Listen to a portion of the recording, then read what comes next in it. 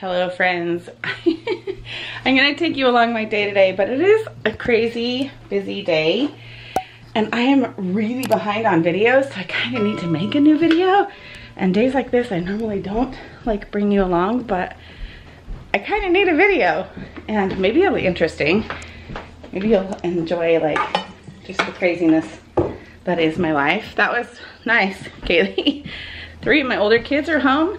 It is late start Wednesday. We've all been kind of avoiding a certain warpath child who stayed up till 11.30 last night and did not have a good morning. we packed her lunch literally like two minutes before we walked out to the bus. So that's kind of where we're at this morning. It's also, so I have a super busy day and in order to, I have to eat is what I'm trying to like get at. I won't be able to function out and about today.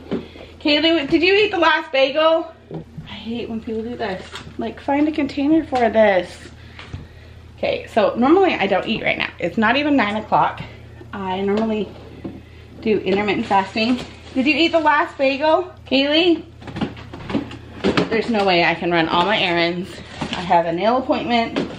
I have an ultra ultrasound scan. I can't do all of that on an empty intermittent fasting stomach. I can't do it. Oh, I literally just bought bagels yesterday. They're hiding them. My kids started to hide food. Okay, we're going for it today. I'm having a full carb breakfast. I'm having a bagel and cream cheese and a glass of chocolate milk because oh, why don't they make these easier to open?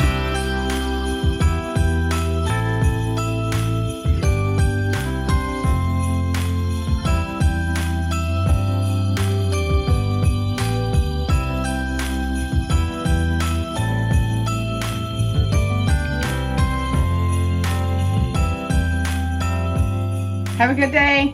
The older kids are going to school and I came in here to leave. This is my laundry room if you are new. Yeah, that's what I came into and I was like, oh, I have to finish this laundry before I go. I have to at least, this is clean. Oh, bloody, this is clean. Oh, crap. Okay, luckily I didn't put that in. Oh, this is all clean folded laundry. I almost just checked in a whole load of clean laundry. All right, we're just gonna wash that blanket and a few sweatshirts. And, okay, well that's better than I thought it was. But I uh, just responded to a comment from a video um, talking about how to clean this filter out of your washer. And that video the first video that we did years ago about how to clean your filter out on your washer and dryer on your washer, I should say. It was like our first time doing it, our second time actually cleaning that filter out. We didn't know to take the cap off of the little hose so water kept going everywhere. And we were frustrated. We're like, this has to be like wrong. We knew it had to be wrong, but we were just showing you how to like put towels underneath there. It's a learning process and we don't ever claim to be like experts at anything. we just know how to do some things and we just like to take you along the process. But the comment was like, you should be making instructional videos if you aren't the expert. You guys, YouTube isn't necessarily for experts. It's for like learning how to do things. It's like, just gaining knowledge and helping each other out. Like that's why people make instructional videos. It's not because we're experts, it's because we want to like help, you know, help another guy, you know, help another friend. No, I'm not an expert at how to like change the filter on my washer, but we learned how. I think the next time we did it, we're like, wait, can we take this cap off? Yes, you can take the cap off. And yes, that makes all the difference. So just so you know, when we make like a tutorial video, which we haven't done in a long time, we're not experts. We don't claim to be. we're just average people doing average things, but guess what? Now people know they need to change the filter on their washer and dryer. So anyway, do you know how hard it is to fold a towel? I did it. I folded a towel one-handed, but so I'm gonna hurry and fold the towels. I'm gonna leave the rest to fold later, honestly. But I haven't done really like an updated laundry routine video or anything because the routine is still the same except for the older kids are starting to like not learn how to do their own laundry they know how to do it on days where like this where I really can't keep up with it and get it done and they need their laundry they tend to move it and fold it and take their own stuff. So it's like the further I get behind, that like, is my sweatshirt done? And I'm like, yeah, it's in the dryer. Here's your hangers. oh, okay, I get it. They gotta learn to grow up. They gotta learn to do their own thing. So anyway, my, my laundry routine hasn't changed at all. I'm just teaching it to my children, so I haven't really updated that video at all. So I am putting my hangers here. If you are new, I'll give you a little quick um, rundown. I use, hang on, let me put these up first. So I do hangers that are color coordinated. My husband has kind of the, the leftovers, but don't have enough in any color. He, so he gets the green ones. I have white ones. And then my oldest has this color of blue, um, but you can always tell when I don't have their laundry to do because I don't have hangers. So that's always a good sign. But if I have a lot of hangers from someone, that means I probably have a lot of their laundry that I need to do. These ones are Chelsea's, and then I'm missing Ashley's because I just saw that they're all on her floor. So those ones will need to be brought down. But everyone has color coordinated hangers, and then they get put here when I do it, and then everyone knows to take their color. And as they're all kind of growing up and kind of becoming the same size, it actually comes in handy to have the color coordinated hangers so that all the clothes go to the right bedroom. Also, despite Jason's best efforts, and I put these in order, youngest, oldest, oldest to youngest, it's in the same order, he still doesn't know what color everyone's hangers are. So that's why he doesn't do the laundry. I don't mind, I do the laundry. And he also doesn't know the clothes. I only know the clothes because nine times out of 10 I buy them and I order them and I know the brands and I know the stores and I know their sizes, but they are creeping up on the same sizes. And so it gets tricky. Like they all order their underwear from the same websites now. And I'm like, uh, you guys have to order different patterns. There's no way I can keep track of everyone, like, cause they all ordered like plain black underwear. I'm like, I can't keep track of that. So this is a little update on my laundry room just to do, I don't know, I feel like I'm not doing different content. So if you guys have ideas of things you would like us to do here on these videos, um, let me know down below. But I have to run. I'm actually have to run. I was gonna go to Marshall's before, but now I actually have to go to get my nails done because you guys, I don't know if it was the last person who did it and she did it wrong. Every single cuticle line on my on these nails, they still look really good. And it's driving me crazy because I could go another week. I could like make these work for another week. This one's look, feeling a little cruddy, but I could make it work. And I'm all about like stretching my budget because this is an extra thing for me, but I'm giving it to myself. I'm like, I want to feel nice. So I'm allowing myself now to have nails. The problem is that all of the cuticle lines on the nails have lifted. And so I go to like itch my hair. I'm not gonna do it right now. And I catch every single hair. If I like pull my shirt on, it catches on a thread. If I like go to pull up my pants, it catches on a little thread on my pants or my shirt. It drives me insane and I can feel it and it's sharp and like so I, they are three weeks old to be fair, but dip nails do last a long time and I have made them last like three and a half weeks before. But these ones are coming off and I'm gonna tell them like, can you do a better cuticle line this time? I wanna kinda get closer to the holidays with these ones. It's not. All right, Chelsea, are you the last one here? Yeah. Are you, you're dressed, right? Okay. she is going to school today. Yes, you're feeling okay? Yeah. Um, just in case anyone knows, she was sick for two days. So I'm glad you're feeling better. Do you have a lunch packed? Yeah. Okay. Can I take this now? Yes, take both of those now. That's just a daytime cold pill. All right, I'm gonna go. Have you swept? No. You have you have time. You have 25 minutes. I have too much time. I do nothing. You have time to do the floors. I'll take this out and I'll take this out so you can do the floors. Life is a winding road, no telling where it goes. Driving through. I just got here. Marco Poloed my sister while I drove here. And I need to make sure that I have a book. Oh, expires in two days. I don't think I'll be able to finish this one. I might just start this one. Um, I have to just listen to books um, because I don't have, I can't like scroll on my phone when you get dip nails. So I'm going to see if I have a different book I can download. Starry Messenger. No, that one's Jason's. Do I have another one ready? I don't have another one ready. Bummer. I have a few on hold. I don't have any on hold. Anyway, I think I'll have to listen to the ones I've already got. I also need to check my Venmo balance to see if I have money to pay for this. if I have money in Venmo, it's like money already spent. So I'm gonna see if I have any, see if I have money to pay for this. They like it when I Venmo my payment for this salon, which is helpful. Okay, do I have money? I also have to go to the bathroom. What is my balance? $385. I have money. I'm supposed to transfer that from my Hawaii money. But I'll take a take it for nails. So I should I should actually transfer that and cash that out, but it's in a secure place, so I'm gonna go dark. I hope they have dark green. Can transition from Thanksgiving to Christmas. All right, love how they came out. It's like a dark teal green. I just wanted dark and I love it. I love how they turned out. Next up is Marshalls. And I started listening to this book and it's a really good true crime, not a true crime, but a crime thriller. And I love those kinds of books. So that was kind of fun to listen to. All right, I am hiding some Christmas presents underneath these. They're mainly stocked up on face wipes. I'm plum out. None of us have any and we use these all the time. I was able to find two of them on clearance for $3 and then I got this big pack for five. So stocked up on those. I did find a few Christmas presents. I did run into Jacob's mom while, we, while I was here. It's fun to talk to her.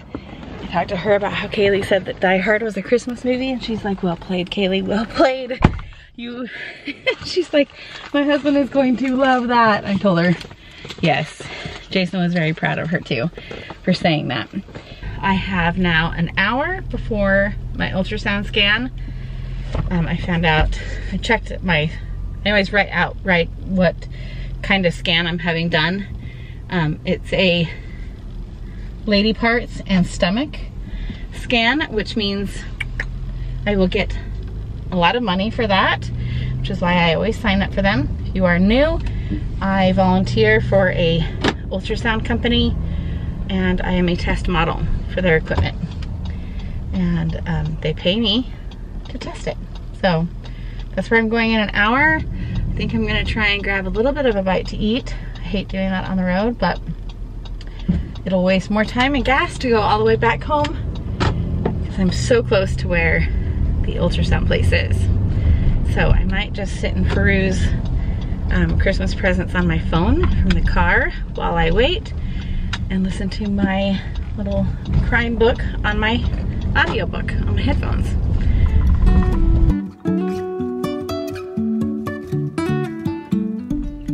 All right, um, Ashley's coming out, but before she comes out, I took a nap when I got home and got home about an hour early. And then I had therapy with her therapist and we've got a lot to work on. But oh, she is coming with me now. We're going early to tumbling and cheer because we're going to look for what? Yarn. Yarn. And we're gonna go see if it's on sale and what happens if it's not on sale. Okay. Yes, because the cost is so high per skein of this kind of yarn, it isn't worth getting if it's not on sale. But maybe we can just look around for something more Christmas ideas. Yes?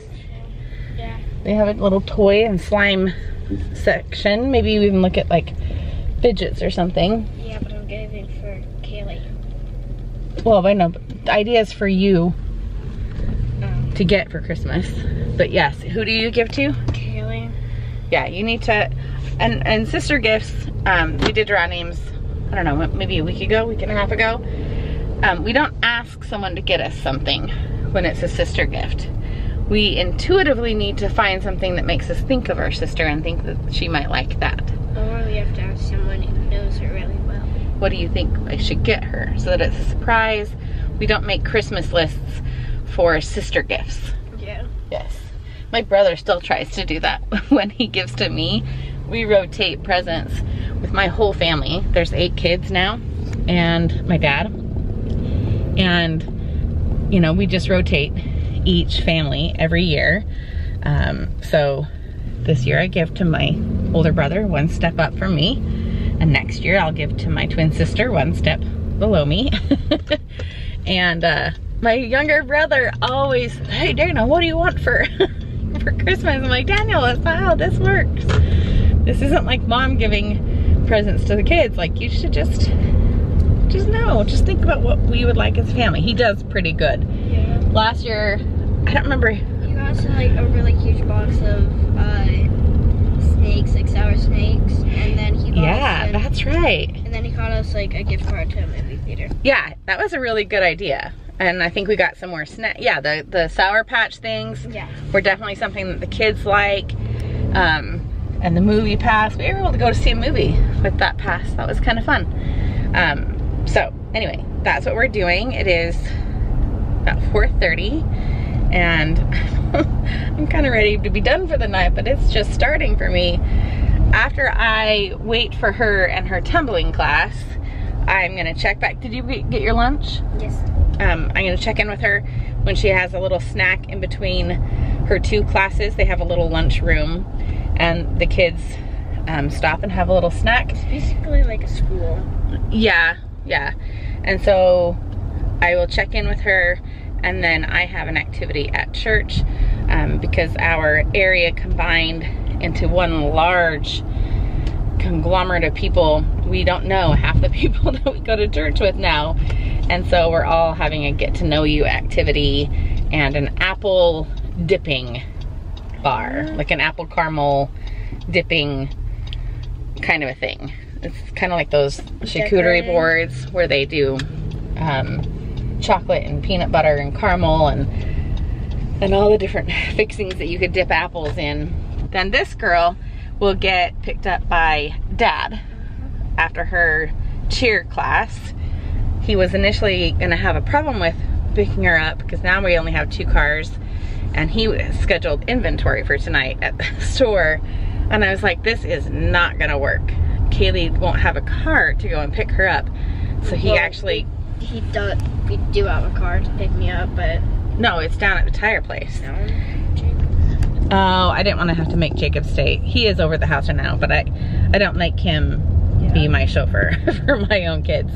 Um, but anyway, oh, uh, there's cars, brake lights right on my face. That's why I'm all red. Uh, but Jason was like, you know what, it's too much. So he just canceled inventory for tonight. He has a couple more weeks before the end of the year to get it done. And he's like, I wasn't really like feeling it anyway. So it's not really that big of a deal to cancel it. It only takes a couple hours, but it would have meant that he wouldn't be there in time to pick her up. So he'll go and get her and take her home and I'll be home in an hour after that. And then I'm gonna be done for the day. I'm gonna wanna climb into bed and just be done. So look at all the lights, you guys. I can't show you like a ton of what's around me because it kind of gives away where I live, but can you see all the Christmas trees? And they've lit even more trees this year. And it's so fun to see it all like lit up at night. It's so fun. Someone is quite happy that yarn is once again on sale. How many are you going to buy? These are $8 a piece. Are you sure that's the color? It is. I thought they were more expensive before. They're the same price. So eight times four is, are you gonna take your other one apart and start over? No, I'm just gonna connect it. Okay. So let's do the math and see if you have enough money. Someone is happy, yes, mm-hmm. But we had a hard, hard conversation in the car, right? Are we willing to, we have a big burden. I'm gonna make an analogy here with you real quick because we're kind of in the private corner. We have a big burden that you're carrying. And if you take away one, it won't. if we go to therapy and work on this burden, and then we work on this burden, and then we work on this burden, then what are you left with? One. A smile on your face. We gotta work through our burdens, okay? Deal? two. All right, Ashley, we got the right color? Yep. You have your blanket, she's already started back there. Wanted to double check it. It matches? Yes. Okay, you can't work on that tonight. After cheer, you have to shower and go to bed. Okay. Okay? Making that deal on camera so I get it on record. Cheer nights are always an extra tired night. So,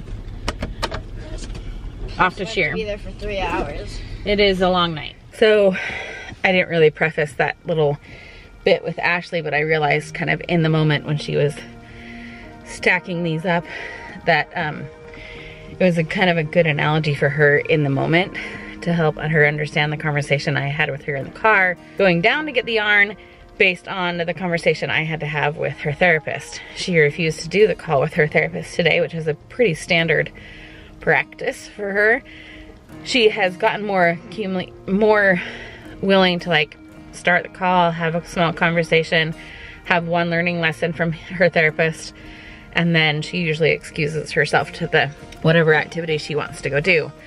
But the hard conversation I had to have with her therapist today was I'm I'm kind of at not my wits end, but I'm out of ideas on how to help her with the anxiety if and his end of it was yeah i'm that's why she needs to come and talk to me because you're not the therapist. I've given you as many tools as you can get.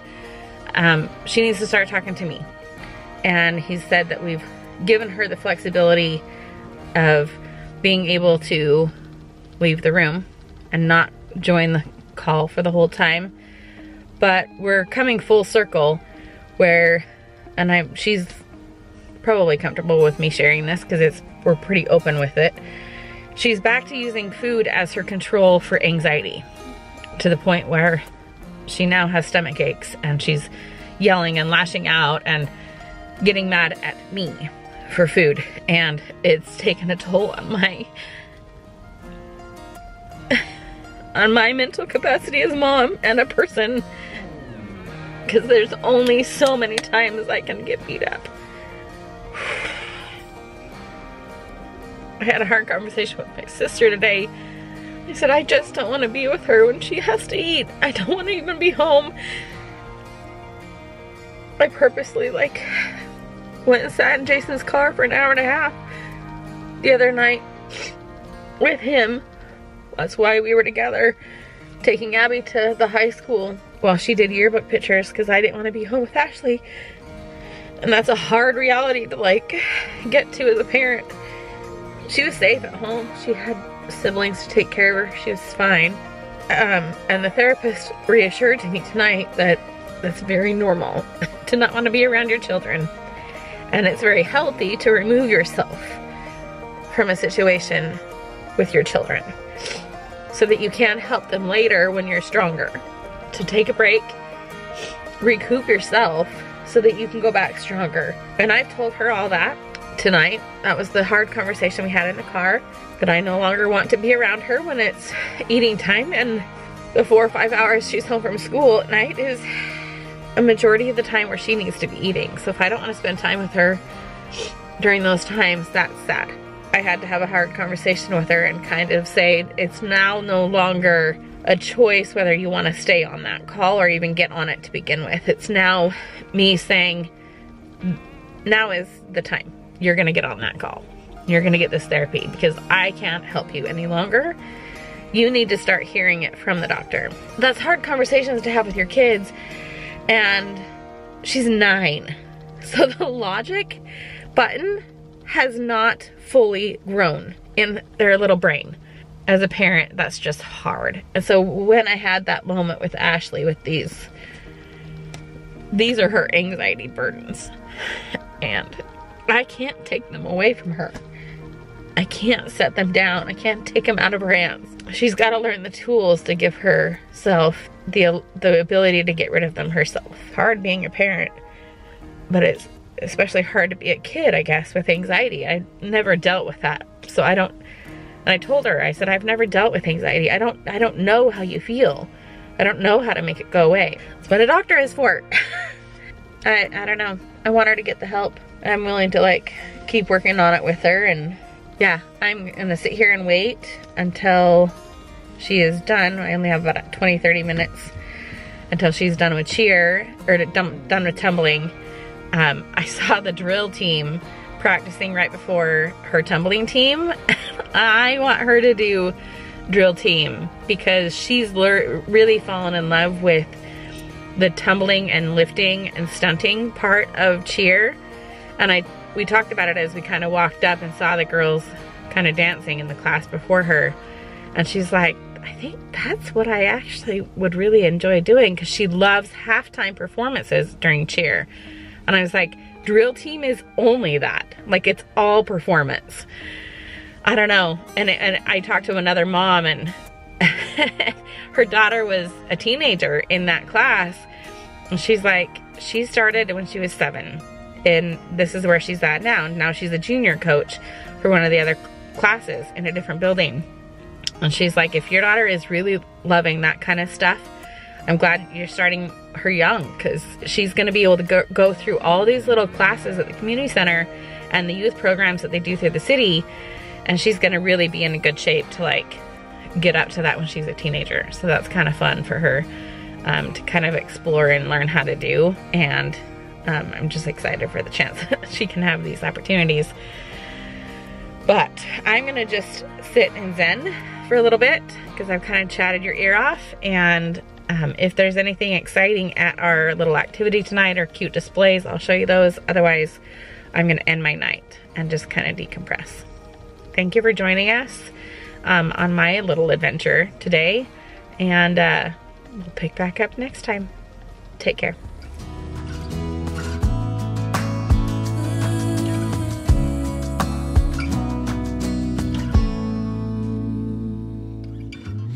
All the magic places in the world I've been to. This is where my heart is. Oh, you know it's true. No matter where I go, I'm coming home to you.